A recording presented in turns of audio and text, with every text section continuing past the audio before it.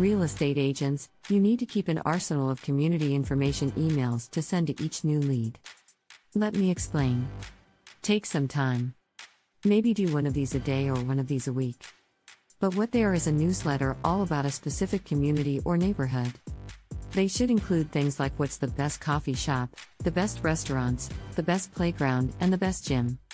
In some of these cases, you can even partner with the businesses to share information on each other's behalf. Need more information? Check out the links.